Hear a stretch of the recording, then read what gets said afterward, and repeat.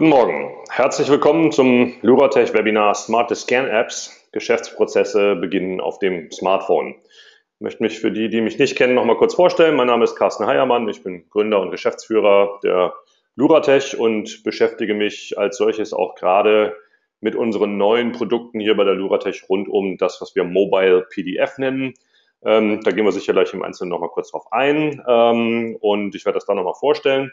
Ich ähm, ähm, habe für heute hier ein bisschen eine Präsentation vorbereitet, die über die bisherigen Webinare aus dem Mobile PDF-Bereich ähm, hinausgeht.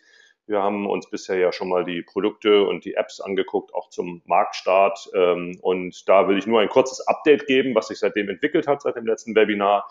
Möchte dann aber eigentlich ähm, sprechen über äh, Anwendungsszenarien mehr. Das heißt, ähm, genau wie die Überschrift äh, suggeriert, viele Geschäftsprozesse beginnen ja mit einem Dokument und ein Dokument wird irgendwo erzeugt, ein Dokument wird irgendwohin übertragen, wird verarbeitet und stößt auf diese Weise einen Geschäftsprozess ab an, manchmal ähm, sogar so weit, dass dann ein Ergebnis nochmal präsentiert wird, vielleicht etwas abgezeichnet oder freigegeben wird und einen solchen Geschäftsprozess auch möglicherweise wieder beenden kann. Ähm, Geschäftsprozesse dieser Art äh, sind vielfältig. Wenn man an Unternehmen ähm, von mir aus im B2C-Bereich denkt. Ähm, da gibt es ähm, Kunden, die bei ihrer Versicherung einen Antrag stellen. Da gibt es Kunden, die äh, zu ihrer Behörde eine Einreichung machen müssen. Da gibt es ähm, ähm, auch unternehmensintern viele Anwendungen. Das beliebte Beispiel ist immer der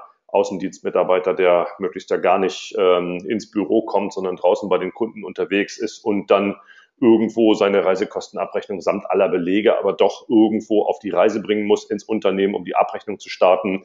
Das sind alles so Beispiele ähm, und da gibt es noch sehr viele mehr für Geschäftsprozesse, die irgendwo auf einem Smartphone starten können, die irgendwo mit einem Beleg zu tun haben und natürlich in unserem äh, speziellen Fall hier, die mit einem Beleg zu tun haben, der eingescannt wird und der eingereicht wird und darüber eben so ein Geschäftsprozess startet.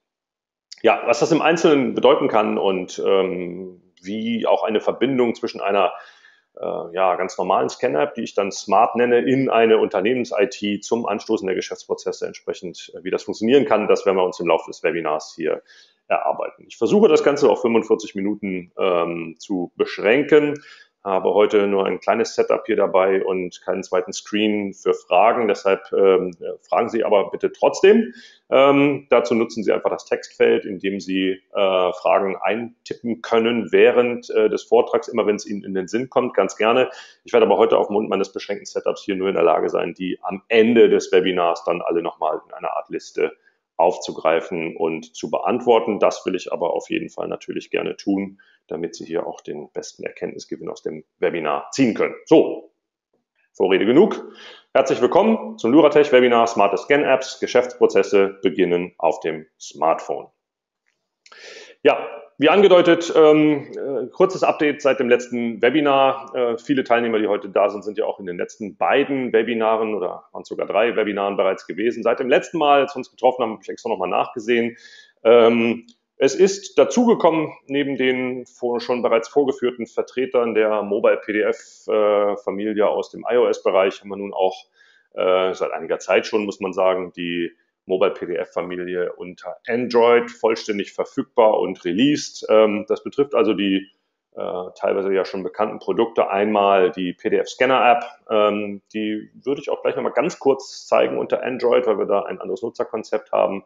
Das betrifft das Mobile PDF Compression SDK, das betrifft das App Framework SDK und äh, damit es auch richtig sinnvoll ist, haben wir natürlich auch unter Android die für die SDK-Produkte die entsprechenden Xamarin-Bindings jetzt verfügbar, dass sie auch so Universal App Deployment tun können mit unseren iOS und Android SDKs ähm, in ihrer App-Entwicklung. Ähm, wie gerade angedeutet, neue Nutzerführung haben wir in der Android-App umgesetzt. Die sieht also heute vom Ablauf her etwas anders aus als die den meisten bekannte iOS-App. Ähm, das Ziel dabei ist und war, ähm, immer wieder Klicks zu minimieren in ihrer nötigen Anzahl. Das bedeutet, schneller zum Ergebnis zu kommen, weniger Verschachtelungstiefe, weniger Ebenen, äh, im Grunde genommen einfach sehr viel schneller ein Dokument mehrseitig oder einseitig ähm, aufzunehmen, zu bearbeiten, abzuspeichern im Zielformat und zur Verfügung zu stellen mit möglichst wenig Klicks. Und ähm, das sieht man in der Android-App schon und in I unter iOS wird das auch als Update, äh, wahrscheinlich einer Version 2.0 unter iOS, ähm, nochmal folgen irgendwo in diesem Jahr. Ähm, wir haben darüber hinaus viele Dinge gemacht, die zunächst mal nach außen hin nicht so sichtbar sind. Das heißt, vor allem in der Stabilität äh, sehr viel Verbesserungen erzeugt. Wir haben inzwischen äh, Analyse-Tools drin, die uns äh, erlauben zu sehen, ob mal irgendwo irgendwas abgestürzt ist oder sonstige Dinge. Da sind wir sehr viel weitergekommen. Das ist heute ein doch durchaus robustes Produkt, was wir da anbieten können, und zwar in allen Ausprägungen äh, über die SDKs bis hin zur App. Wir haben auch im Imaging-Bereich, das ist ja so unser angestammter Bereich, weitere Verbesserungen gemacht, gehen wir gleich mal kurz drauf ein, und so kleinere Features gemacht. Ähm, man kann den TIFF-Gruppe 4 Schwarz-Weiß-Layer, das wissen viele von Ihnen, die das schon lange betreiben, mit unserer Kompression nun inzwischen auch separat ausgeben aus den SDKs heraus, um damit zu versuchen, die OCR-Erkennungsrate ähm, führen die Nachverarbeitung dann auch entsprechend hochzutreiben. Das sind so kleinere Features, die natürlich so aus Projekten heraus und durch Kundenwünsche ähm, dazugekommen sind. Und woran arbeiten wir gerade aktuell? Gerade aktuell haben wir nochmal eine größere, einen größeren Durchgang äh, mit einigem Aufwand ähm, ähm, ja, in den Labs sozusagen. Da wird gearbeitet an Updates all der Filter ähm, letztendlich, um eine noch genauere Erkennung des Bildes im Kamerafenster zu ermöglichen, um äh, noch schneller eine Aufnahme auslösen zu können, um aber natürlich auch noch mehr zu filtern im Hinblick auf äh, konstante, sehr gute Bildqualität unter allen verschiedenen Licht und sonstigen Verhältnissen, was man da so haben kann. Wir wollen ja, dass Sie sich mit dem Document Imaging nicht beschäftigen müssen, wenn Sie äh, Document Imaging, also Scanning, aber letztendlich doch in eine ihrer bestehenden Apps hinzufügen oder selber eine smarte Scan-App herausbringen wollen, als zum Beispiel äh, Vertreter eines Unternehmens im B2C-Bereich ähm, für ihre Kunden Belegeinreichung anbieten wollen oder für ihre Außendiensttruppe entsprechend und so weiter, dann wollen wir ja, dass sie das schnell und einfach tun können, ohne dass sie sich mit Document Imaging tatsächlich wirklich auskennen müssen. Und insofern arbeiten wir natürlich daran, so unter möglichst jeder Bedingung immer die optimale Bildqualität automatisch zu erzeugen ähm, mit unseren äh, zugrunde liegenden äh, Filtern und unserem Document Imaging Know-how. Ähm, ich habe es schon mal angedeutet, bis zum Jahresende wird dann auch nochmal irgendwo, oder sagen wir mal so, wenn wir durch sind mit dem großen äh, Bildverbesserungspaket hier, werden wir uns dann auch nochmal mit dem Update der iOS-App im Hinblick auf die vereinfachte Benutzerführung äh, beschäftigen.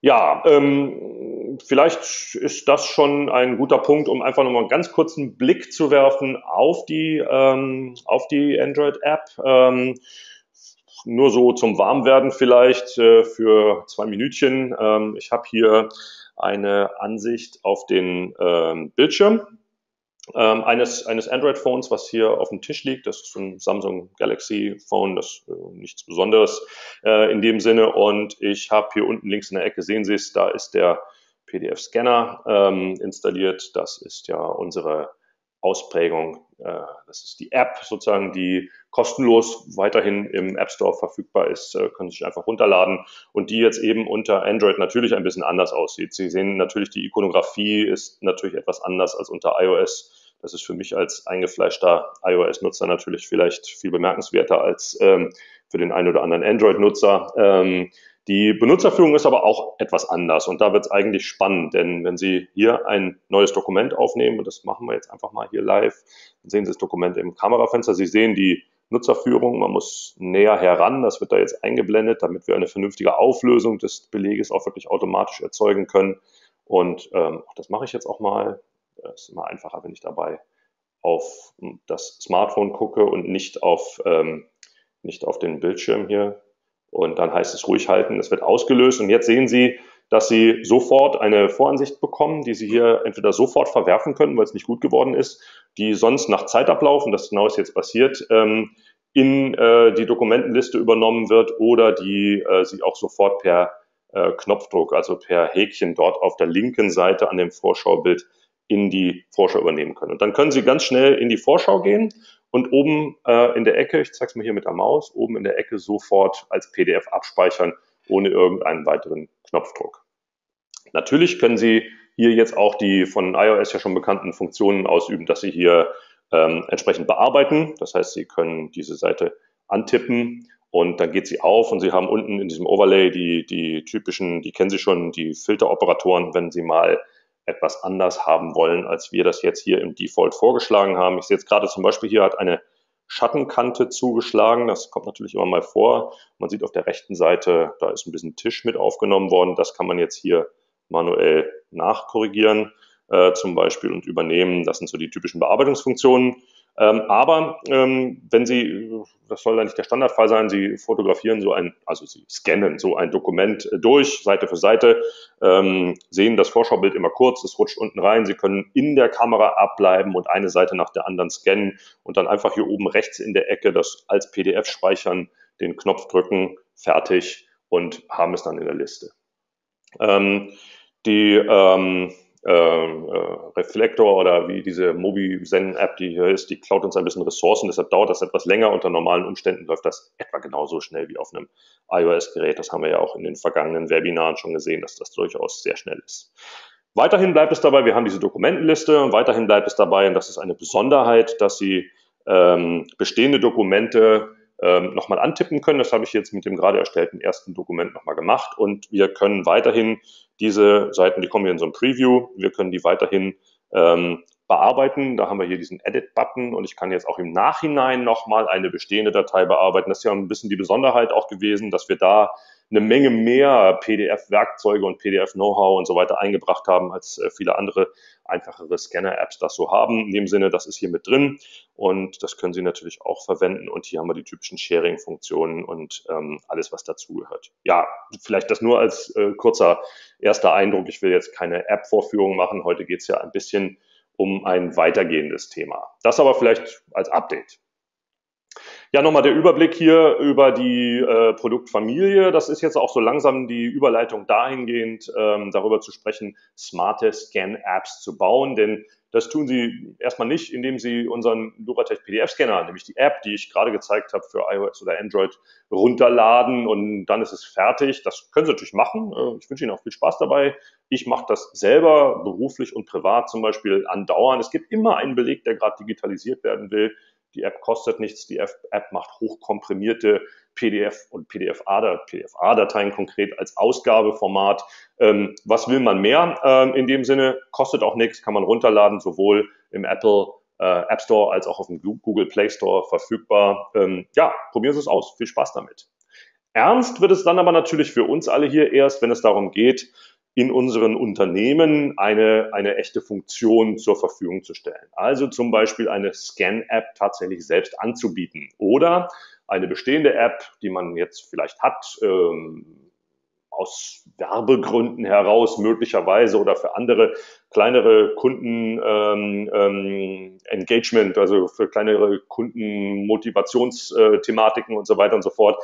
Hier jetzt sozusagen den Schritt nach vorne zu gehen und zu sagen, ja, warum sollen wir denn nicht einfach ähm, äh, diese Situation, dass äh, Belege ohnehin per Smartphone gescannt und uns per E-Mail geschickt werden mit den möglichsten Qualitäten, wieso sollen wir diese Situation nicht einfach so weit umdrehen, dass wir sagen, wir bieten eine ähm, eine App an oder eine Erweiterung unserer bestehenden Apps an, um eine Scan-Funktionalität, die smart ist, die top funktioniert, die sicherstellt an der Quelle, dass die Bildqualität stimmt und die dann ähm, auch ein modernes Image erlaubt, was da heißt, wir bieten unseren Kunden jetzt an, ihre Belege elektronisch bei uns einzureichen. Natürlich mit dem Ziel, erstens ähm, gut dazustehen. Das macht einfach einen guten Eindruck im äh, Bereich der Kunden. Äh, zweitens aber natürlich auch mit dem Ziel sicherzustellen, an der Quelle unter Kontrolle zu bekommen, dass Images so aufgenommen werden mit den Smartphones, dass meine automatischen Systeme, Capture-Strecken und so weiter und so fort, die auch äh, verarbeiten können, dass die Qualität gut genug ist für eine automatische Lesung, für eine automatische Klassifikation, was man so alles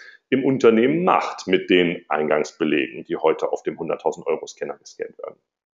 Ja, ähm, das Mobile Compression SDK, das äh, können Sie, das ist, geht noch nicht ganz so weit, das ist das SDK, mit dem Sie, wenn Sie selber schon eine Scan-App gebaut haben tatsächlich und da schon sehr weit gekommen sind und jetzt hinzufügen wollen, dass Sie hochkomprimierte PDF und PDF-A-Dateien erzeugen, dann können Sie einfach schlicht und ergreifend das Mobile Compression SDK nehmen. Das macht hier diese berühmte Luratech MRC 3-Layer-Kompression, führt das auch in ihrer App aus, kann PDFA unterstützen, hat eine Schnittstelle zu OCR-Software, dass sie auch durchsuchbare dann äh, PDF und PDFAs hochkomprimiert generieren können. Das schont dann in erster Linie erstmal so diese Download-Volumina, diese Download-Volumenbeschränkung, die die Kunden ähm, ähm, natürlich alle haben. Die haben wir alle. Wir haben äh, ganz viel Glück, haben 5 Gigabyte. Die meisten haben 1 Gigabyte, manche haben 200, 300 Megabyte im Monat. Und wenn ich nun etwas anbiete meinem Kunden gegenüber, du kannst deine Belege elektronisch einreichen und nach der zweiten oder dritten Einreichung hat er sein Datenvolumen im Monat aufgebraucht, dann wird das nicht so gut ankommen. Also das gegenüber das Mobile Compression SDK ist der ganz einfache Fall.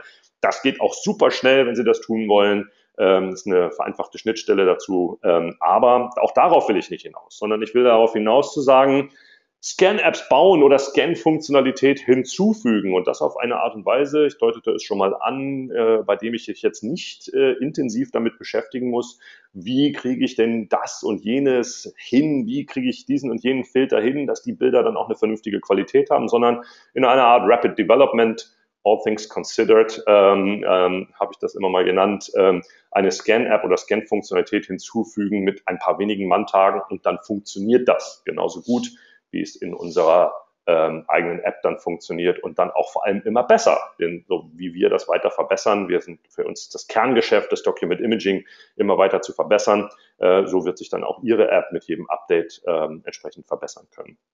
Schauen Sie noch mal im Web, da gibt es natürlich weitergehende Informationen und auch die Links in die App Stores um dann die Ausprägung der App mal herunterzuladen und auszuprobieren. Ja, Compression SDK, ich habe es schon gesagt, ich muss nur mal kurz äh, zwei Sachen ergänzen. Das ist Multithreading-fähig, das macht Parallelverarbeitung, das macht PDFA2U, wenn man will. Das ist ja für uns die empfohlene PDFA-Variante für gescannte Dokumente, kann aber auch alles andere einstellen.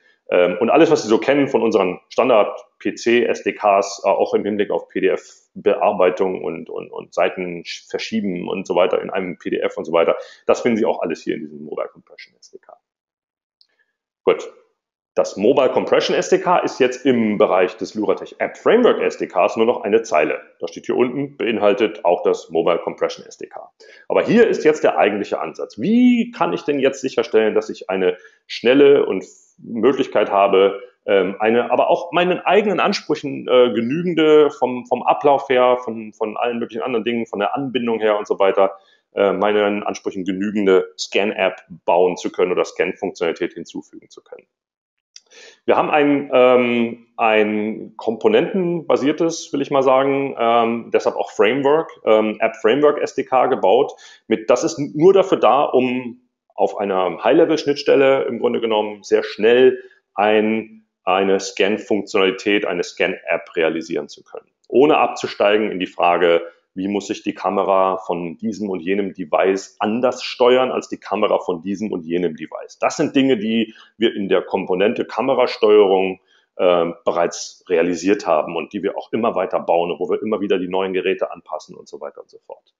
Ähm, ich habe gesagt, es ist ein Framework, es ist modular aufgebaut. Das heißt, man kann die Funktionalität, wie sie in unserer App selber angezeigt ist, mit einer Dateiliste, wo ich in der lokal gespeicherten Dateiliste nochmal Dokumente wieder bearbeiten kann, mit einem ausgefeilten Camera Control, mit äh, den ganzen Bearbeitungswerkzeugen und so weiter und so fort. Das kann man alles anbieten, auch in seiner eigenen App und dann entsprechend konfigurieren, damit es halt in der weiß ich nicht, CI-Farbe grün, wie sie halt bei Ihnen vielleicht ist, äh, entsprechend auch erscheint und auch zu Ihrer App insgesamt passt. Man muss aber nicht. Man kann auch ausgewählte einzelne Controls benutzen, beispielsweise eben zum Beispiel nur das Kamerafenster. Das Kamerafenster dient ja dazu, die Bildqualität unter Kontrolle zu bekommen. Während also das Bild aufgenommen wird, wird in diesem Kamerafenster gleichzeitig von uns ähm, permanent gefiltert und gemessen und geprüft. Und der User wird dann angeleitet zu sagen, geh näher ran, die Auflösung stimmt noch nicht. Ähm, du musst bitte den, den, Winkel verändern, weil wir haben hier gerade eine Reflexion, das ist ein ganz großes Problem. So ein weißer Spot von so einer Deckenlampe mitten auf einem reflektierenden Papier würde an der Stelle ja den Text vollständig ausblenden. Das kann man auch nicht mehr reparieren hinterher in dem Sinne. Also versuchen wir das zu erkennen. Und äh, das alles findet on the fly permanent im Kamerafenster statt, bis ähm, die Bildqualität so ist, dass wir sagen, die genügt jetzt den Ansprüchen einer automatischen Verarbeitung und dann lösen wir automatisch den Aufnahmeprozess aus. ob Sie dieses Bild dann in unsere Dokumentensitzung reinnehmen und daraus Multipage machen wollen oder gleich übernehmen, um etwas in Ihrer App damit zu machen, das bleibt Ihnen dann überlassen. Ob Sie das fertige Multipage-Dokument ähm, dann gleich in Ihre App übernehmen oder in unserem eigenen kleinen sozusagen Dokumentenmanagement, also in unserer Dateiliste hier in der App ablegen, äh, in dann Ihrer App ablegen, das bleibt Ihnen wieder überlassen. Denn das sind alles einzelne Module, die man ähm, ähm, separat auswählen kann, wenn man selbst eine smarte Scan-App äh, mit ganz wenig Aufwand in Manntagen realisieren möchte. Jetzt, ähm, ja, Technik ist vielleicht ein bisschen zu viel gesagt, aber ich möchte zwei, drei Worte sagen zum, zum Aufbau und ähm, ähm, zur, äh, zur Herangehensweise im Grunde genommen. Wir haben da grundsätzlich mehrere Möglichkeiten. Also einmal ähm, ist es klar, irgendwo unten ist die Basis, ähm, die App, die Sie nun bauen, die läuft jetzt beim Kunden entweder auf einem iOS-Gerät oder sie läuft auf einem Android-Gerät. Ähm, dann ähm, haben wir Teil unseres App Framework SDKs, das ist sozusagen hier dieser Doppelblock in der Mitte. Ähm, der äh, sieht so aus, dass unten drin im Bauch sozusagen ein großer Teil des SDKs ähm, auch plattformübergreifend implementiert ist. Das bedeutet, wenn wir Verbesserungen bei den Filtern machen im ähm, Imaging SDK selber, äh, wenn wir oh, gut, das ist ein sehr ausgereiftes Produkt, aber wenn wir Verbesserungen machen würden im Compression SDK, ähm, äh, unten drin, dann sind das Komponenten, die dann sofort für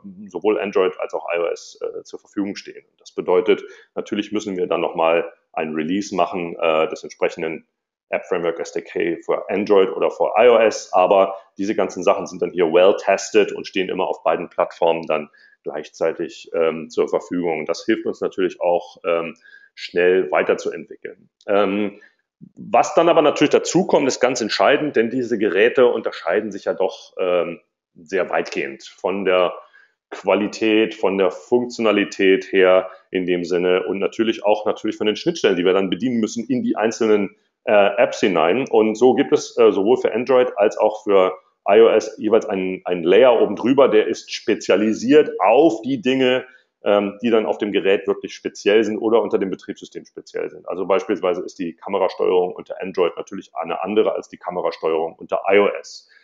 Die Filter, die sind natürlich auf beiden gleich. Äh, die können wir zwar anders ansteuern aus den Layern hier oben, aber wenn wir einen Filter bauen, der etwas Bestimmtes kann, dann kommt er hier in das Haupt, äh, äh, die Hauptkomponenten unten rein ist nativ implementiert und steht dann auch auf beiden Plattformen zur Verfügung. Wie gesagt, die Steuerung obliegt dann jeweils der Spezialschicht. Und dann bauen Sie, linken dieses äh, SDK unter iOS oder unter Android sozusagen in Ihre Android-App oder Ihre iOS-App hinein. Das ist der normale Weg. Ähm, ähm, es gibt eine Alternative dazu und zwar, jetzt wird es noch ein bisschen technischer, aber das Wort haben Sie, wenn Sie sich im Mobile-Umfeld bewegen, vielleicht schon mal gehört.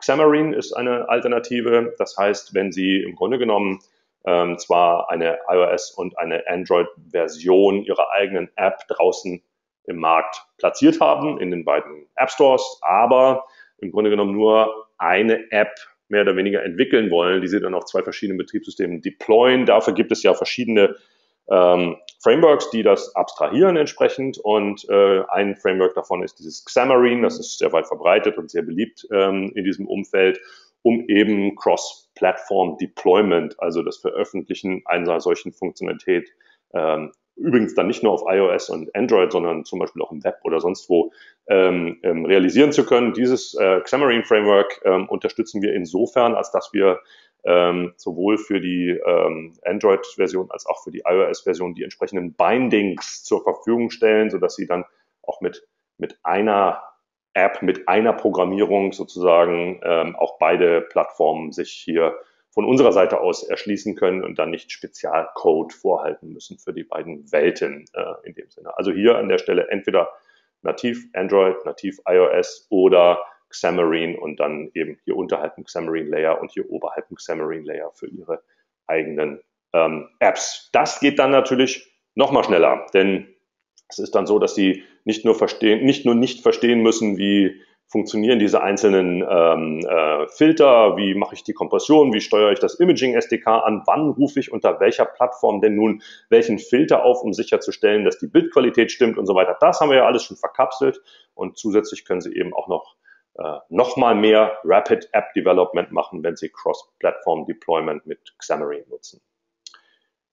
Ja, ähm, steigen wir noch mal etwas tiefer ein in das App-Framework SDK selbst. Ich habe ja schon mal angedeutet, diese Folie brauche ich jetzt, um so ein bisschen überzuleiten auf die, auf die eigentliche Idee, ähm, die ich Ihnen heute vermitteln will, ähm, die dann für mich eine, eine Scan-App in eine smarte Scan-App erweitert in dem Sinne. Aber dazu müssen wir ganz kurz verstehen, wie ähm, ist dieses App-Framework SDK aufgebaut. Also das Erste, was man auf dem Bild sicherlich sieht, ist, es gibt viele verschiedene Komponenten. Und diese Komponenten sind von Ihnen, wie ich schon angedeutet habe, wahlweise zu benutzen oder eben auch nicht zu benutzen. Ähm, in der Mitte hier irgendwo steht für uns Document Session. Das heißt, ähm, das ist äh, die, die Sitzung, in der Dokumente einseitig oder mehrseitig letztendlich erzeugt und versammelt werden. Ähm, der, der Capture Service als Modul ähm, schiebt natürlich die Images da rein. Hier ist dann natürlich ein plattformspezialisiertes Modul, die Steuerung Kam des Kamerafensters äh, in einem Modul hin äh, zu sehen. Und hier gibt es eine Interaktion, hier gehen die Images rein in die Session. Äh, dann habe ich ja schon gesagt, wir können ähm, Images äh, editieren und das können wir, das machen wir gleich, egal ob die Images jetzt gerade neu aufgenommen worden sind oder ob die Images aus dem Document Manager kommen, das heißt aus der im Grunde genommen der Liste der Dokumente, die wir so als Startseite in unserer App selber benutzen. Das heißt, ich kann aus der Document Session hier ein Dokument erzeugen und in den Document Manager, wenn ich das will, abladen. Ich kann natürlich auch hier mich bereits mit meiner eigenen App als Schnittstelle dazwischen hängen.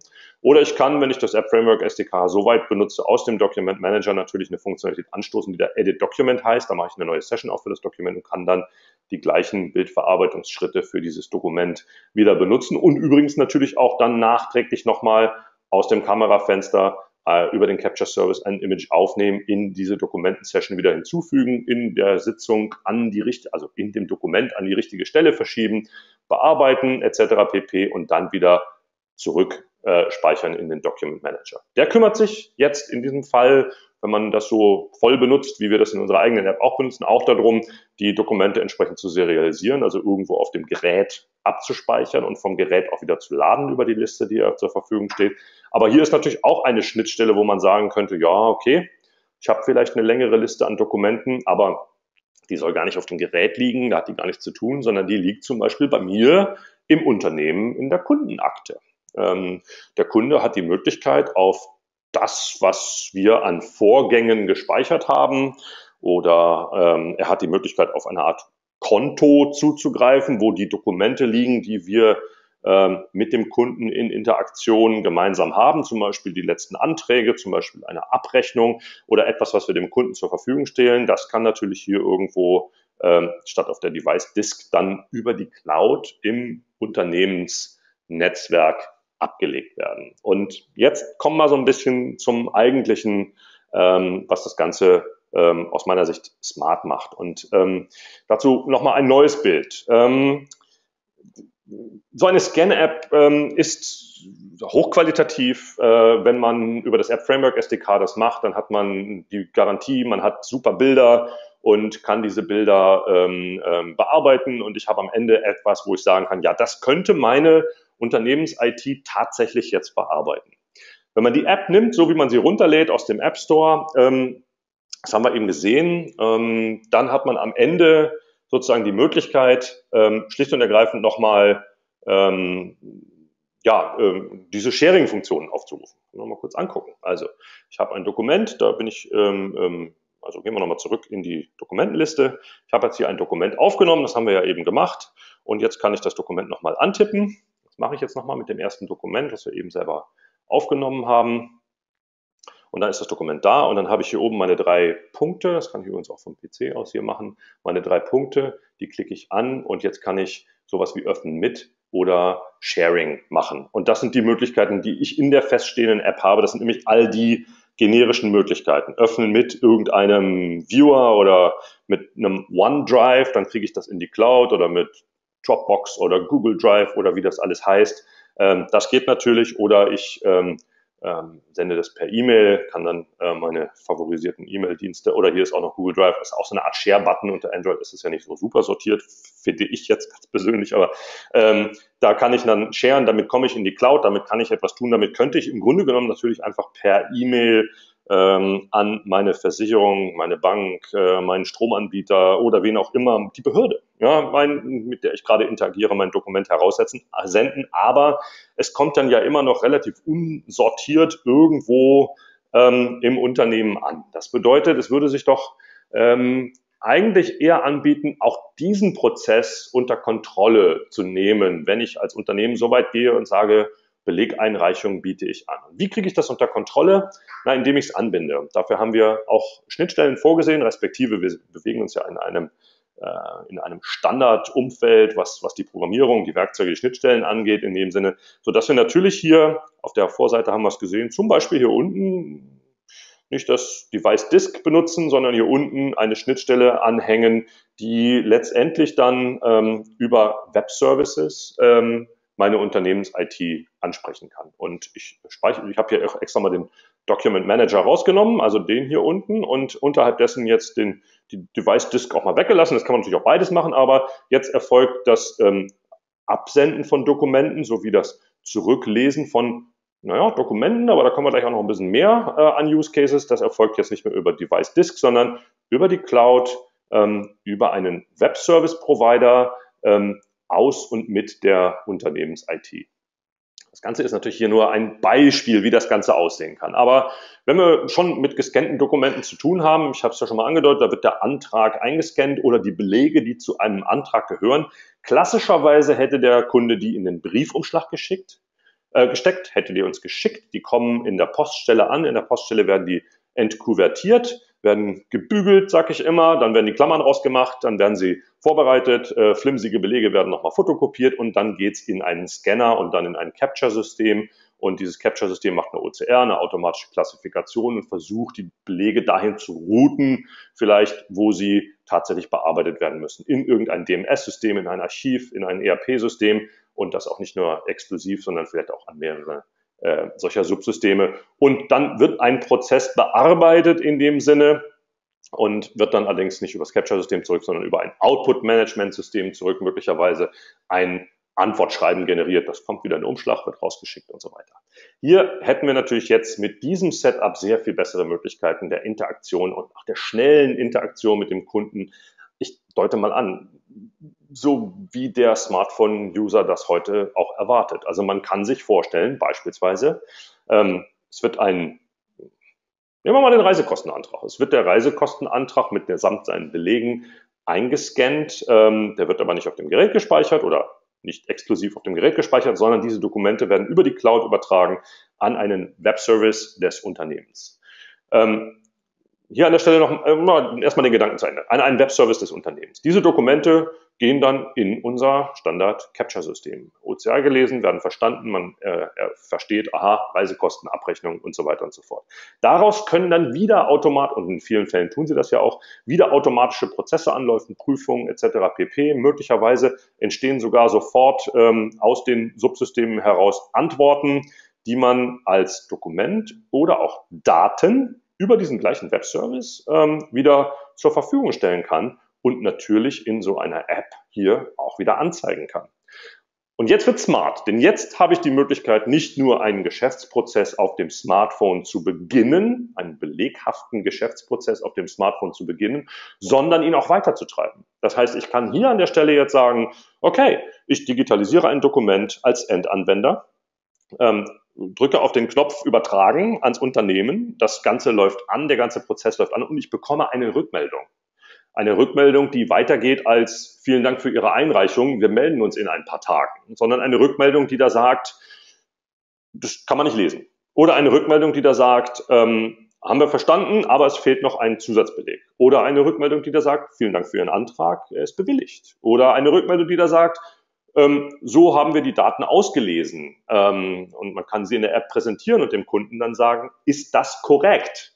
Und der Kunde kann zum Beispiel dann nochmal eine ähm, Qualitätskorrektur machen ähm, eines OCR-Ergebnisses, ohne dass ich da meine eigenen Sachbearbeiter ransetzen muss und das Leseergebnis korrigieren und erneut ähm, über den Webservice an uns übertragen äh, in dem Sinne. Oder er kann auf dem Smartphone, jetzt will ich aber nicht einsteigen in qualifizierte elektronische Signatur oder solche Dinge, aber er könnte etwas zum Beispiel freigeben, indem er mit seinem Finger eine Unterschrift auf dem Bildschirm macht oder tatsächlich weitergehende Signatur ähm, in irgendeiner Form ähm, durchführt. Und damit kann man einen Geschäftsprozess sehr interaktiv gestalten. Man kann den, den Endanwender sehr eng mit anbinden und ich kann vor allem erreichen, dass ich durch die gegebene Bildqualität hier, durch eine Automatisierung und vollständige An, äh, Anarbeitung, äh, Anbindung eine, eine Bearbeitung dieses dokumentenbasierten Geschäftsprozesses so weit starte, dass ich vielleicht sogar bis dahin komme, nämlich ihn abzuschließen und dem Kunden, dem Anwender ein Endergebnis äh, anzuzeigen. Oder ihm innerhalb der App dann auch ein paar Tage später ein Endergebnis zu liefern, wenn ein Sachbearbeiter erst prüfen muss, indem man in seinen Bereich, der irgendwo hier oben sich abspielt, das ist der Bereich Kunde, Kundenakte, Kundenarchiv, Kundenkommunikation, wie auch immer, da stehen die letzten Abrechnungen und die Anträge und was weiß ich alles drin, indem ich ihm ein paar Tage später eine entsprechende Antwort einstelle, die er dann auch ähm, in seiner App, in seinem eigenen Bereich, Mai-Versicherung, wie auch immer, wieder aufrufen kann und wieder ansehen kann durch so eine Anbindung. Werden Sie sagen, entweder sagen Sie, äh, super Idee, machen wir sofort, denn wir haben bereits eine serviceorientierte Architektur und damit würden Sie ja nicht alleine dastehen. Das ist ja in vielen Fällen inzwischen so, dass ähm, genau solche Unternehmensinfrastruktur ähm, serviceorientierten Architekturansätzen folgt oder serviceorientierte Architekturen haben in dem Sinne. Und dann geht's ganz schnell und ganz einfach. Denn ähm, aus einem Mobil App heraus äh, Web-Services anzusprechen. Ähm, das Komplizierteste, was sie dazu tun haben, sind Fragen der Authentifikation, aber dafür gibt's ähm, jede Menge Lösungen. Das ist äh, im Grunde genommen etwas, was man out of the box nutzen kann und wo wir jetzt selber darauf vorbereitet sind, das auch in ihre App äh, mit einzubinden. Ähm, andere sagen aber wieder, ja, das ist alles eine schöne Idee, aber ehrlich gestanden, unser Legacy-System hier, das äh, steht da und ja, eigentlich kommt man da auch nicht ran und so weiter und so fort. Das kann man natürlich aber auch lösen, denn man kann natürlich auch, ähm, vielleicht ist das sogar eine gute Idee, speziell für solche Anwendungsfälle hier dedizierte Web-Services anbieten, ähm, hosten, zur Verfügung stellen, die nur auch mit bestimmten Rechten auf bestimmte Teile dieser Subsysteme überhaupt zugreifen können, äh, in dem Sinne, die man dafür vielleicht sogar extra bereitstellt, ähm, äh, in dem Sinne, um dann auch eine höhere Datensicherheit und diese ganzen Dinge ähm, zu realisieren. Trotz und alledem äh, erlauben, mit dem Kunden in eine Interaktion zu treten, wenn er einen Beleg ähm, entsprechend einreicht. Und hier nochmal aus dem Hause Luratech eine kleine Neuerung. Ähm, Sie kennen uns ja bisher, die überwiegenden Teilnehmer heute kennen uns schon, teilweise lang. Sie kennen uns ja bisher ähm, vorwiegend als ähm, Anbieter von äh, Softwareprodukten.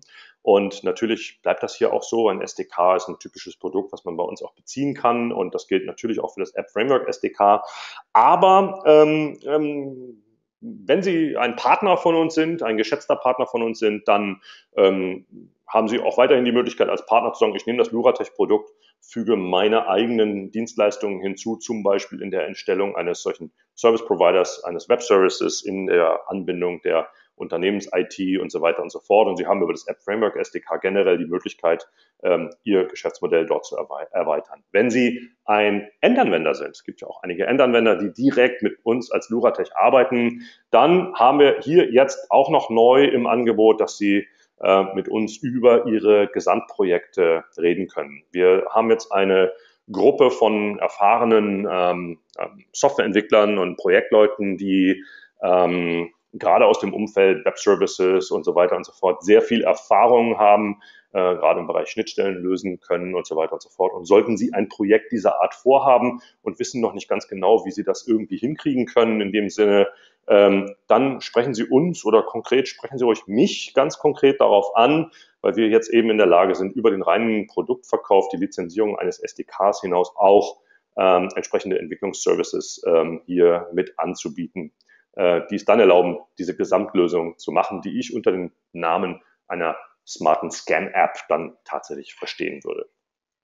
Ja, ähm, damit ähm, bin ich auch am Ende meines äh, kleinen Vortrags heute hier. Ich hoffe, ich konnte Ihnen vermitteln, dass ähm, in diesem Umfeld eben sehr viel mehr geht als ein Beleg abzufotografieren und, und abzuspeichern. Ähm, das fängt an von äh, vergleichsweise, naja, einfach ist es nicht, einfach ist es nur, weil wir es schon so lange können, aber von, von kleinen äh, Schritten wie den Beleg zu komprimieren und Format zu wandeln und so weiter. Das geht über die Entwicklung ganzer Scan-Apps und das fängt an richtig Spaß zu machen, wenn man auch daran denkt, die Unternehmens-IT entsprechend mit anzubinden. Sprechen Sie uns an, wenn Sie da in dieser Hinsicht ähm, Interesse haben. Ähm, sprechen Sie mich an. Meine Kontaktdaten inklusive Handynummer sehen Sie da auf dem Bildschirm und ich freue mich tatsächlich ähm, auf Diskussionen und Gespräche ähm, in diesem Umfeld. Und wie gesagt, bin damit am Ende meines kleinen Vortrags, 40 Minuten heute bis dato. Ähm, gelingt mir selten in der Zeit zu bleiben, aber wir haben natürlich auch noch die Möglichkeit, jetzt einige Fragen zu beantworten und mal gucken, was da so kam. Okay, ähm, ich rufe die mal auf. Da kam, Moment, wo bin ich hier? Ach so, okay. Da kam unter anderem eine Frage ähm, zu den, ah, zu den Lizenzmodellen. Ja, ja, klar, wie immer, natürlich. Äh, spannende Frage. Ähm, was kostet das Ganze eigentlich und so weiter. Ähm, Moment, jetzt bin ich mir nicht ganz sicher, welchen Screen Sie aktuell sehen. Ich würde das nochmal kurz starten. So, jetzt müsste es eigentlich äh, okay sein. Sehen Sie nochmal die Kontaktdaten, während ich die Frage beantworte. Also die Frage zu, zu, den, zu den Lizenzmodellen, ähm, die ist natürlich immer wieder beliebt, ähm, ähm, kommt immer wieder, aber der Frage stellen wir uns auch gerade hier in diesem Umfeld, glaube ich, dass wir da auch äh, tolle Wege gefunden haben. Ähm, wir haben hier erstmal eine ganz normale Lizenz äh, für das SDK, sozusagen eine Developer-Lizenz. Äh, die brauchen Sie natürlich, um mal anfangen können zu entwickeln. Also gehen wir mal vom App Framework SDK aus, dann brauchen Sie eine App Framework SDK Developer-Lizenz, ähm, die Sie ähm, ähm, für die Entwicklung Ihrer App natürlich in dem Sinne einsetzen. Damit haben Sie das Binary, was Sie, oder ja, aber das, ähm, damit haben Sie dann auch die ähm, Softwarekomponenten, die Sie in Ihre Apps äh, letztendlich einlinken und die Ihnen die Funktionalität zur Verfügung stehen.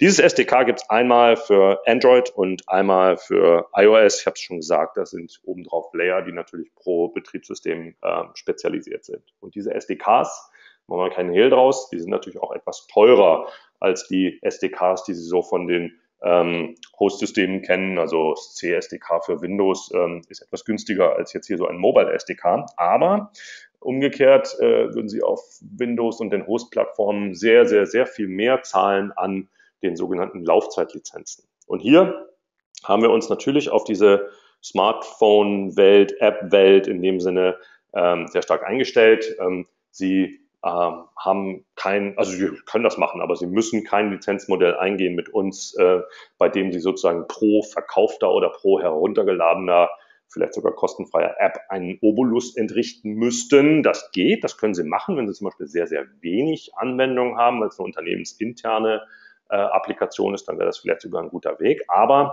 ähm, in der Regel haben sie etwas wie eine pauschale Abgeltung. Das heißt, sie haben eine Einmalgebühr und dann eine jährliche Wartungsgebühr und damit können Sie so viele ähm, Laufzeitlizenzen, so viele Kopien Ihrer Apps ausliefern, wie Sie denn irgendwie mögen. Und da haben wir einen niedrigen Preis, ganz niedrigen Preis für freie Apps. Das heißt, da steht sozusagen Ihr Entwicklungsaufwand äh, und ihr eigener Wartungsaufwand, wenn sie das alles selber machen würden, dem gegenüber, was wir an SDK und Laufzeitlizenz entsprechend berechnen. Und wenn Sie eine App haben, mit der Sie Erträge erwirtschaften, Umsätze erwirtschaften, die also etwas kostet, dann gibt es aber auch dafür noch immer eine pauschale Abgeltung der Laufzeitlizenzen äh, gegen Einmalzahlung und jährliche Wartung, die dann etwas höher angesiedelt ist, aber da haben Sie dann ja auch eine Refinanzierung durch die Umsätze, die Sie mit der App machen. Das deute ich schon mal an. Ähm, Sie können mich darauf jetzt schon ansprechen, wenn Sie mögen, und Sie werden es dann auch ähm, in absehbarer Zeit ähm, in ein paar Tagen in unserer nächsten E-News lesen. Äh, wenn Sie die Idee haben, eine smarte Scan-App zu bauen oder generell mit dem App Framework SDK eine äh, Scan-Funktionalität Ihren Apps hinzuzufügen, dann ist jetzt ein guter Zeitpunkt, mich anzusprechen, denn wir werden eine kleine Aktion starten. Jetzt irgendwo Anfang September äh, für eine begrenzte Zeit werden wir dann ähm, sehr, sehr viel niedrigere Einstiegsschwellen haben. Das heißt, ähm, es ist in der Diskussion so eine ähm, zwei für eins ähm, Angebote zu machen und beispielsweise nur ein SDK lizenzieren zu müssen, aber trotzdem beide SDKs für beide Plattformen entsprechend zu bekommen. Ähm, das werden Sie noch lesen, aber äh, wenn Sie jetzt gerade akut Bedarf haben, sprechen Sie mich an. Das können wir auch heute schon ähm, entsprechend realisieren. Also äh, für die, die hier im Webinar äh, dabei sind, die haben dann einen kleinen Startvorteil, was dieses Wissen angeht, über die kommende ähm, Aktion. Gut, ich bin am Ende der Zeit angekommen. 45 Minuten sind herum. Ich hoffe, es hat Ihnen Spaß gemacht und Sie konnten den einen oder anderen äh, anregenden Gedanken hier heute äh, mitnehmen. Und ich freue mich jetzt darauf, mit Ihnen äh, in Interaktion zu treten, so ähnlich wie Ihre Kunden das äh, über unser App Framework SDK demnächst mit Ihrer App tun können. Lassen Sie miteinander reden ähm, über Ihre Anforderungen. Kontaktieren Sie mich gerne. Kontaktdaten nochmal sind auf dem Bildschirm und ich freue mich natürlich insbesondere Sie bei einem unserer nächsten Webinare wieder begrüßen zu dürfen. Herzlichen Dank für Ihre Teilnahme. Ich wünsche Ihnen noch einen schönen Tag.